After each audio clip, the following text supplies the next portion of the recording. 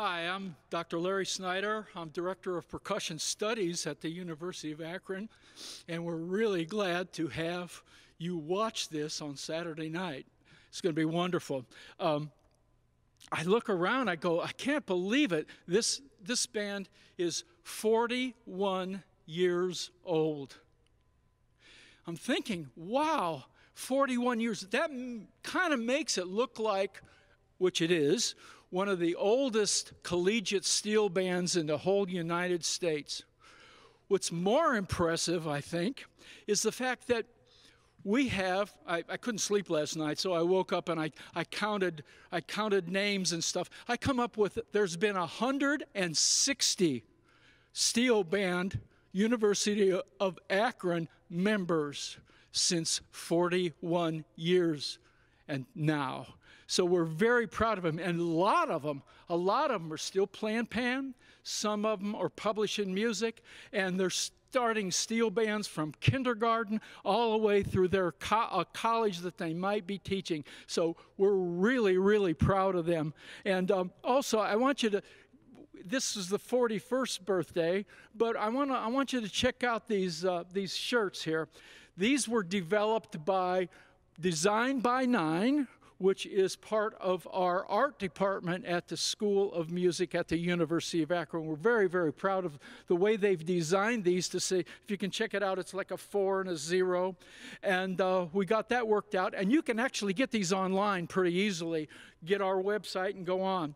Another one that's, that's very popular is what I have on right here, which is designed by Don Drumm. He's a very, very much, everybody knows Don Drumm as an artist in Akron, Ohio, Northeast Ohio. But he loved the steel pan so much that he, he, he made these to put around your neck. You can also get this online. So we're extremely proud of that. We're very proud of the fact that also something that's uh, very, very important to us is that at this particular time, we need to honor Clifford Alexis. Cliff started this band 41 years ago. He came, he built these beautiful drums. He taught us the culture of Trinidad, the culture of, of the entire steel band movement. We're very, very happy and proud of him we also love our donors. We could not exist without the University of Akron being supportive, Northeast Ohio being very, very supportive, and, and the fact that, that Clifford taught us what we were supposed to know, know about playing these beautiful instruments. We also know the culture. We, the, he, he would not teach us unless we sat down and say, You've got to understand more than hitting steel pan. That's what Clifford Alexis and some someplace in heaven. He's watching for notes here, no doubt. So, uh, before we get started, um, I remember a lady saying to me after a concert, one of our concerts, she came up here and she says, You know, bottom line, it's not spring until we have a steel drum band concert at the University of Akron. That's why I wore this. And look at the weather out now. Yeah? Okay. We caused that steel band, y'all. Steel band, we caused that weather just because of you. So I'm going to turn this over to Artistic Director Matt Dudack and the University of Akron Steel Drum Band.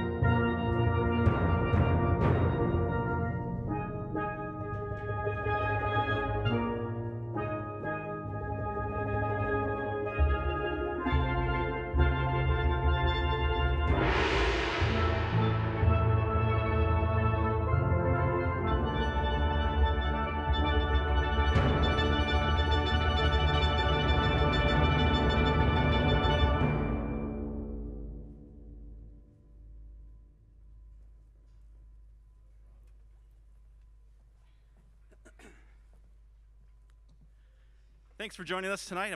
I've, always actually wanted to conduct that piece. Um, I, am coming up winded now because I conducted. What does that tell you? Uh, really excited to have this concert for you guys tonight. And we're, we are talking about the legacy of Dr. Clifford Alexis, uh, our mentor and creator of this band. He always said, you know, I'm loaning you these pans. Uh, they're, they're still his drums, we just get to play them. And so that first piece celebrates the common man, which is what Cliff was in Trinidad growing up. But the common man in Trinidad, the common pan player in the early days of, of steel pan history, was the outcast. So this song is by Sparrow, and they sing about the pan man as being the outcast of society, and it's obviously changed a lot since the early days of pan. But this is Cliff's arrangement of this really great calypso, Outcast.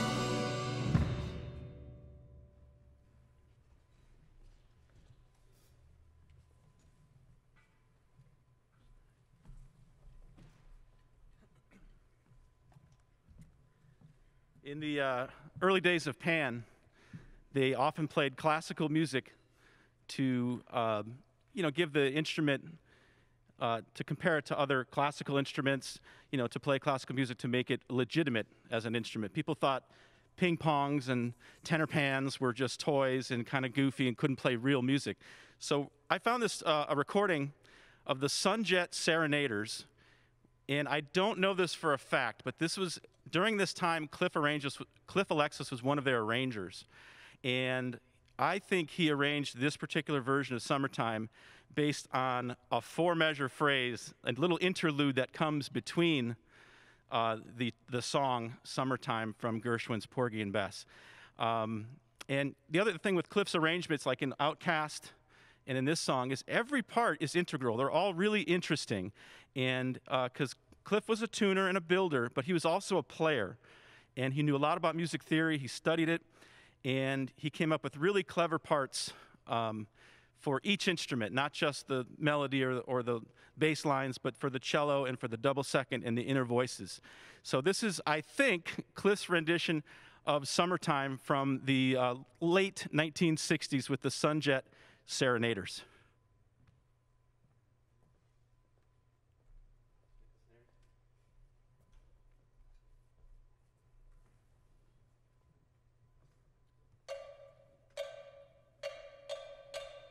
Bye.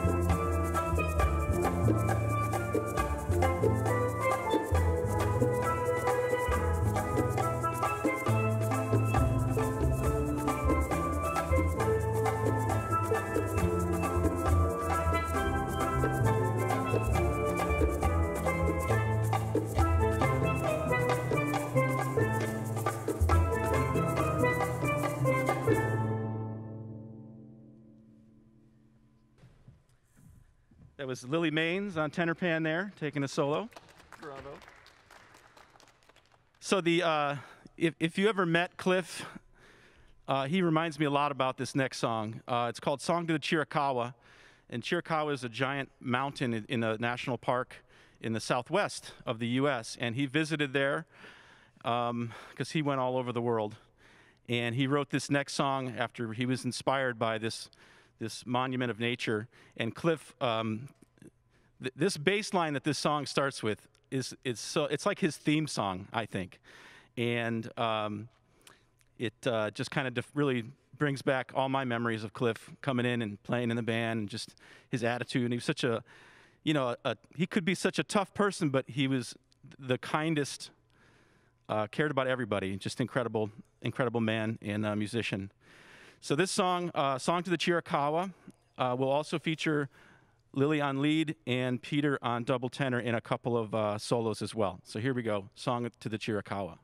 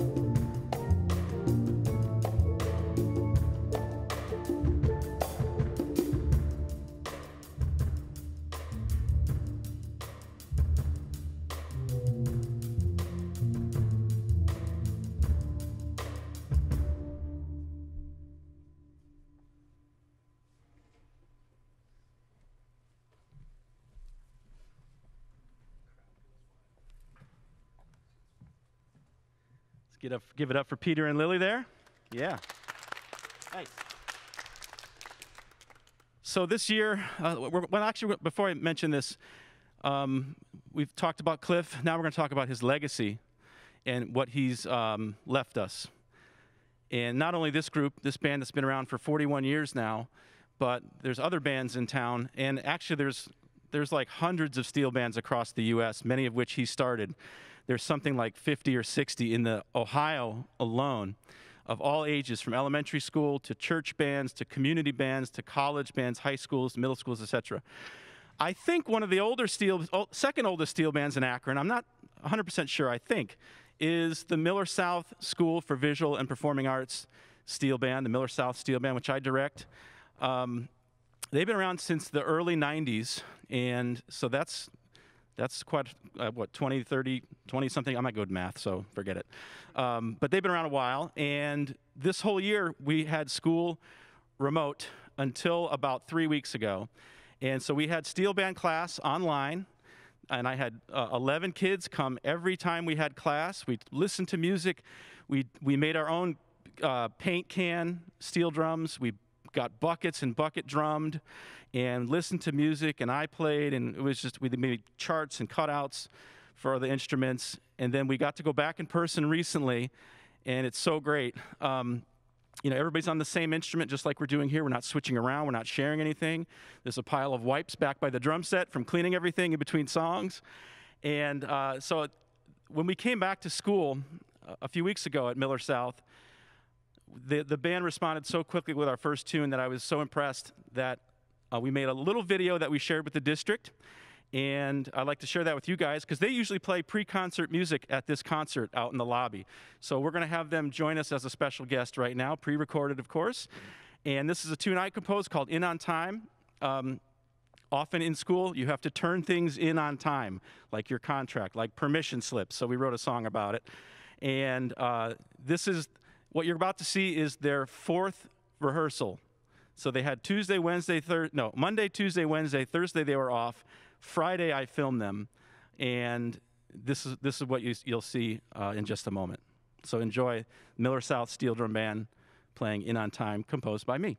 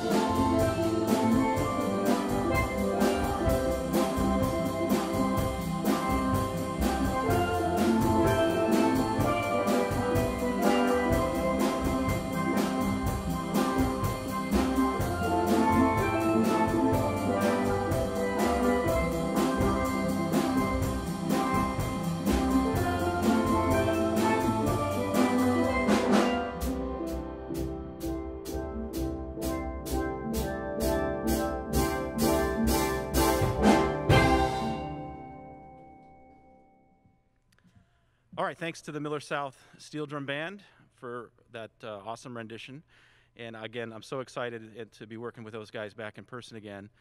And uh, the, um, the next part of this concert we're going to talk about as far as legacy is some, you know, Cliff was here uh, um, and built these drums, and 100 over 160 students have gone through this band. Many gone on to have careers in, in running their own bands. We're going to do two. The two next selections are from guys who do their masters here and then uh, went off and got other teaching positions and started their own steel bands. Uh, but before I mention that, I just wanted to point out that we, we are here at E.J. Thomas Hall. It looks a little different than usual. You know, we've got uh, some minimal lighting and, you know, the stuff in the back you see back, the percussion instruments is for the University of Akron bands who've been rehearsing and recording here as well. So um, uh, we got our usual crew of suspects with uh, A.J. Stokes doing our video and sound today, so we're really excited to have them here as well. Uh, but to get back to these next two selections, uh, the, the, next one is by Jeff Neitzke. Uh, Jeff is the director of bands at the University of Mount Union, and uh, he wrote this song, I believe, for the Dover Steel Band, and which is kind of fun because the drummer at the time with the Dover High School Steel Band, which a band was started by Joan Wenzel, one of our alumni, um, the drummer in the high school band is the same drummer we have today, Robbie Kaser, who came to the University of Akron as a per- percussion student, which is kind of cool. And Robbie's brother actually goes to Mount Union and plays in that steel band. So it's again this whole connection with um, it, the small world that is the Cliff Alexis steel pan world. So this tune will f- again feature Lily and Peter, and this is Jeff's tune, a little calypso called Short Sale.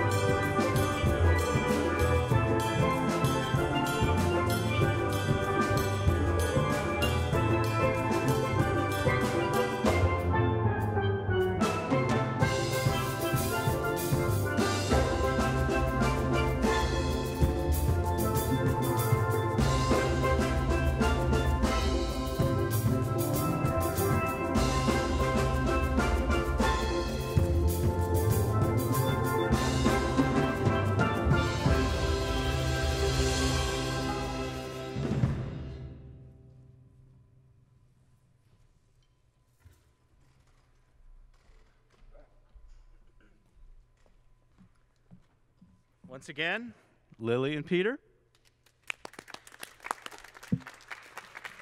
And thanks to Jeff for letting us play his awesome tune.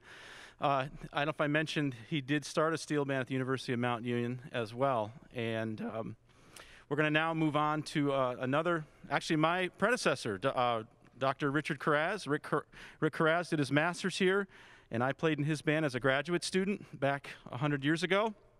Not quite, not 41 years ago, but let's say a few, a little bit closer to that than I would like to admit. So, um, Rick uh, wrote a song uh, called Layback, and this is in a, a, reggae style. And we have a new graduate student uh, this year, Chase Dunaway, who actually played drums on this tune with Rick's band last year. So we're really excited to do this. Going to feature the same two soloists, uh, Lily and Peter. And anything else to say about this? That's it, right? All right, here we go. Lay back. Feel free to lay back, relax. It's a very chill tune. I think you'll dig it.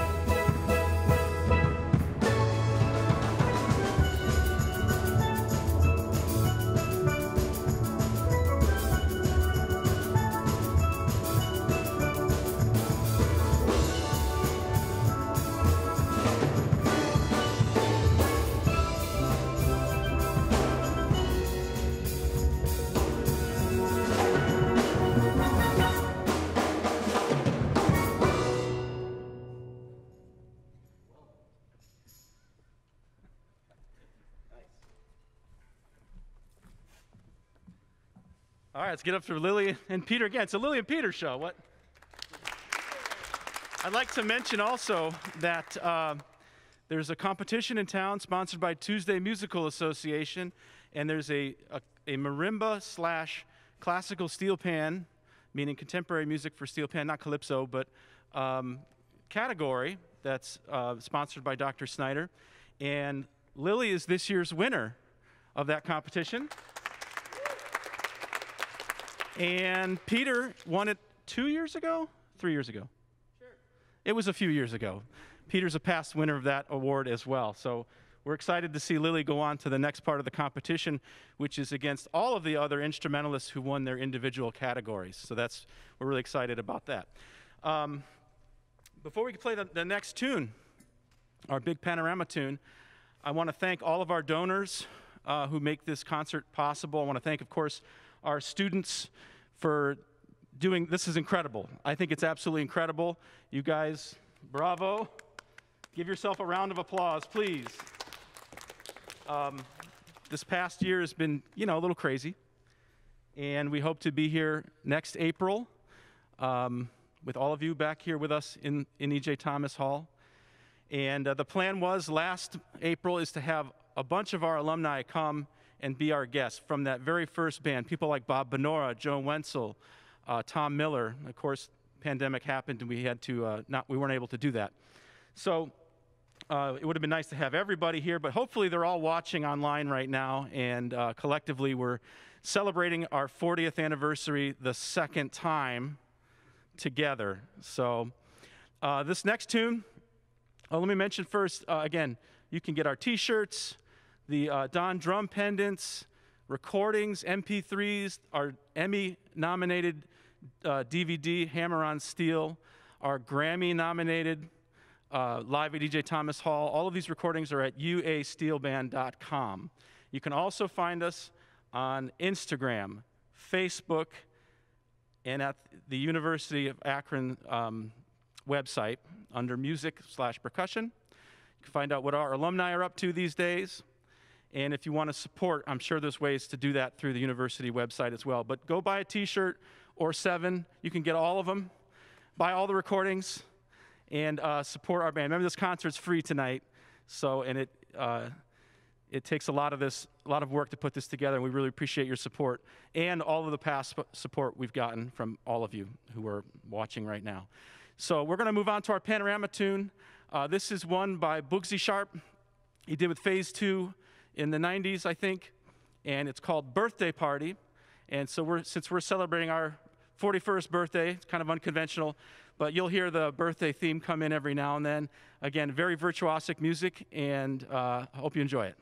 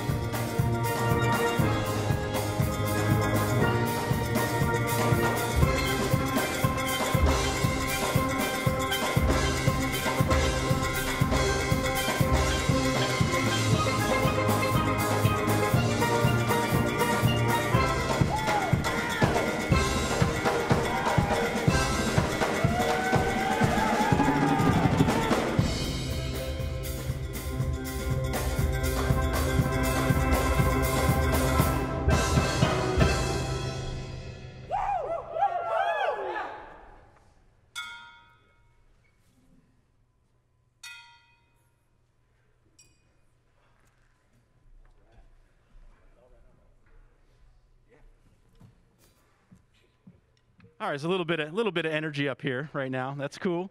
We got one more tune, and we want to thank, before we do that, thank, of course, everybody who makes this concert possible. To Cliff, of course, to Dr. Snyder. Our only audience member is Dr. Snyder, sitting out there by himself.